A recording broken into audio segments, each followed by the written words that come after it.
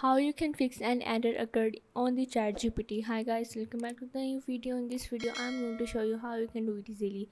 So the steps are very easy and simple. So now let's get started. First of all you have to go on your google chrome and here you have to click on these three doors and go on the settings. Now once you are in you have to click on the privacy and security and here you have to scroll down now you have to tap on the clear browsing data. Here you have to clear the data. After clearing the data you have to uh, open up the new tab and here you have to go on the chrome web store and search for the free vpn store. Now you have to go on the free vpn for chrome and here you have to add this trolley well to your chrome and uh, add the extension.